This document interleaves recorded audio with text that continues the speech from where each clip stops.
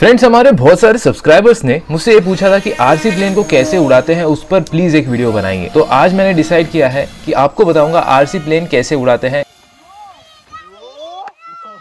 यानी रिमोट से कैसे कंट्रोल करते हैं एक आरसी प्लेन तो बेसिकली दोस्तों, यहाँ पर जो रिमोट है दैट डजेंट मैटर्स कि आपके पास कौन सा रिमोट है, क्योंकि कंट्रोल्स जो होते हैं, वो उसके अंदर सेम ही होते हैं। इसे मॉड टू रिमोट कहते हैं। मॉड टू मतलब आपकी जो लेफ़्ट हैंड साइड की जो स्टिक रहेगी, वो थ्रॉटल और रेडर की रहेगी, और राइट हैंड साइड की जो रहेगी, वो एलिवेटर और एलेरॉन की रहेगी। अब थ्रॉटल रडर एलिवेटर एलेरॉन क्या होता है, उसका टेंशन मतलब वो मैं आपको बता दूँगा। ये स्विचेस को फ़िलहाल के लिए छोड़ देते हैं। कॉन्सेंट्रेट करते हैं सिर्फ़ ये वाली स्टिक्स पर। तो प्लेन में दोस्तों आपने देखा होगा कि कंट्रोल सर्फेसिस रहते हैं। प्लेन की विंग्स में लगे होते हैं एलरॉन और प्लेन के पिछले साइड यानी जो टेल होती है, वहाँ पर होता है एक वर्टिकल स्टेबिलाईजर और एक हॉरिजॉन्टल स्टेबिलाईजर तो वर्टिकल स्टेबिलाईजर में लगा होता है रडर और हॉरिजॉन्टल स्टेबिलाईजर में लगा होता है एलिवेटर विंग्स की अगर बात करूँ तो जो एलरॉन्स होते हैं वो प्लेन को लेफ़्ट एंड राइट रोल करने में हेल्प करते हैं। आप वीडियो में देख सकते हो। सिमिलरली जो टेल साइड में हॉरिजॉन्टल स्टेबिलाईजर होता है, जिसके अंदर लगा होता है एलिवेटर वो प्लेन को अप एंड डाउन पिच में हेल्प करता है।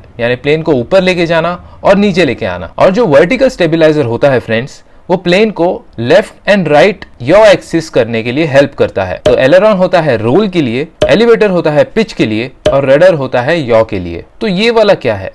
तो इसे कहते हैं थ्रोटल थ्रोटल यानी प्लेन की स्पीड प्लेन का जो इंजन होता है, जो मोटर होती है, उसकी स्पीड आप यहाँ से ज़्यादा और कम कर सकते हो। ये टोटल मैंने आपको चार चैनल्स बताए फ्रेंड्स सबसे पहला चैनल जो होता है प्लेन में, वो होता है एलेरॉन का, यानी रोल का। आप देख सकते हो, ये हो गया लेफ़्ट रोल क्योंकि आपके लेफ़्ट में जा रहा है, और ये हो गया राइट रोल क्योंकि ये आपके राइट में जा रहा है। उसके बाद, अगर प्लेन को अप एंड डाउन लेके जाना है, यानी ऊपर और नीचे लेके जाना है तो हम कंट्रोल करेंगे एलिवेटर स्टिक से। तो ये होता है चैनल नंबर टू अगर इसे नीचे खींचते हैं तो एलिवेटर ऊपर जाता है, जिसकी वजह से प्लेन भी ऊपर जाता है। ऊपर ढकेलते हैं तो एलिवेटर नीचे जाता है, जिसकी वजह से प्लेन भी नीचे जाता है। अगर आप इसे ऊपर करते हो तो इसका मतलब ये नहीं कि प्लेन ऊपर जाएगा। और इसे नीचे करते हो तो इसका मतलब ये नहीं कि प्लेन नीचे जाएगा। उसके बाद बात करते हैं रडर की। रडर लेफ़्ट यानी प्लेन जो है वो अपने यो एक्सिस के लेफ़्ट साइड में टर्न करेगा। और रडर राइट यानी प्लेन जो है, वो अपने यो एक्सिस के राइट साइड में टर्न करेगा। और थ्रॉटल तो आपको मैंने बता दिया कि प्लेन की स्पीड ज़्यादा और कम करने के लिए। थ्रॉटल हमेशा फुल कम रखें जब आप टेक ऑफ़ कर रहे हो। फुल भी नहीं लाइक like 80 टू 90 परसेंट आपको रखना है। कोई अगर मनूवर कर रहे हो, यानी वर्टिकल उसको लेके जा रहे हो, या अगर आपको रोल करना है, आपको लूप करना है तो उस टाइम आप फुल थ्रॉटल रख के four five seconds maximum speed बढ़ा के आपका जो भी मनूवर है वो कर सकते हो। थ्रॉटल को आपको 60 टू 80 परसेंट के बीच में ही रखना है during the flights to save the battery otherwise आपकी बैटरी जल्दी जल्दी ड्रेन होगी और मोस्टली बैटरी अगर ड्रेन हो जाती है तो उसकी वजह से प्लेन का ई e भी ख़राब हो सकती है मोटर भी ख़राब हो सकती है और मेन चीज़ बैटरी भी ख़राब हो सकती है, जिसकी वजह से आपका प्लेन जो है वो क्रैश हो जाएगा। इन कंट्रोल्स के बाद दोस्तों यहाँ पर आप देख सकते हो, ये चार आपको बटन्स दिख रहे होंगे। ये होते हैं स्विच जिन्हें हम कहते हैं ट्रिम्स तो ट्रिम यानी आप यहाँ पर ये वाला ग्राफ देख सकते हो। अगर मैं इसे ऊपर करता हूँ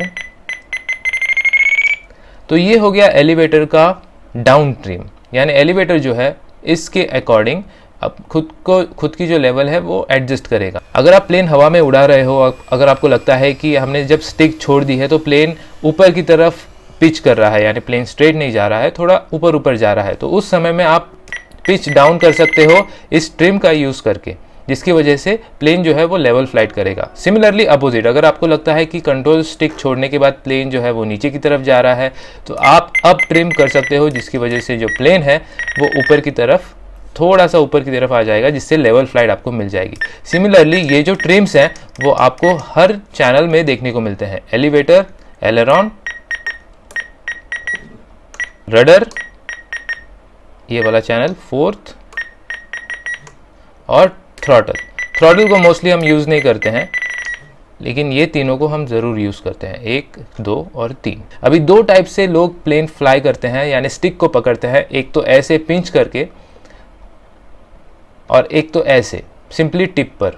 तो मैं जब भी फ्लाई करता हूँ, मैं हमेशा टिप का यूज़ करके फ्लाई करता हूँ। कुछ लोग होते हैं जिन्हें ये वाला ग्रिप कंफर्टेबल होता है, जो ऐसे ऐसे करके प्लेन को फ्लाई करते हैं। तो आपको, आपके अकॉर्डिंग जो भी कंफर्टेबल ग्रिप है, वो फाइंड आउट करनी है। अगर आपको लगता है कि इससे मेरा प्लेन का जो मूवमेंट है, वो ज़्यादा हो रहा है एग्रेसिव हो रहा है तो आप ये वाला चीज़ भी ट्राई कर सकते हो। किसी किसी के लिए ये कंफर्टेबल है और किसी किसी के लिए ये कंफर्टेबल है। सो वंस अगेन रिवाइज करते हैं। यहाँ पर ये है फ़र्स्ट चैनल एलेरॉन जिससे प्लेन रोल होता है लेफ़्ट साइड राइट साइड आपको वीडियो में भी दिख रहा होगा। सेकेंड चैनल है एलिवेटर का, जिससे प्लेन अप एंड डाउन जाता है। ध्यान रखना दोस्तों अप एंड डाउन उसके बाद में रडर यो एक्सिस के लिए।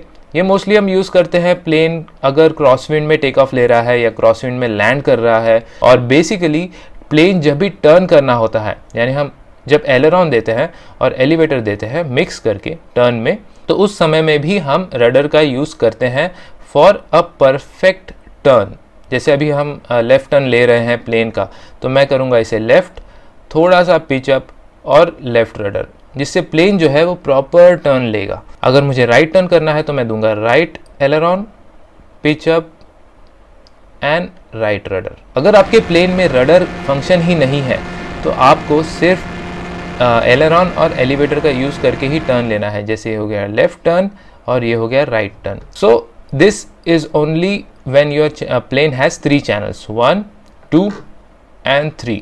Third channel होता है थ्रॉटल अगर आपका प्लेन फोर चैनल प्लेन है तो उस समय में आप रडर का भी यूज़ करो. सो so फ्रेंड्स कैसा लगा ये वीडियो जिसमें आपको मैंने बेसिक नॉलेज दिया है कि प्लेन को फ्लाई करने में ये जो स्टिक्स है वो कैसे हमें हेल्प करती है? नेक्स्ट आने वाले वीडियोस में मैं आपको और इसका डीप नॉलेज दूँगा जिससे आपको पता चल जाएगा कि अलग अलग विंड कंडीशंस में अलग अलग प्लेसेस में कैसे प्लेन को उड़ाते हैं। तो ये वीडियो कैसा लगा मुझे कमेंट करके बताना। अगर कोई रिलेटेड डाउट होगा इस वीडियो से तो भी आप कमेंट में पूछ सकते हो। चलो मिलते हैं नेक्स्ट वीडियो में।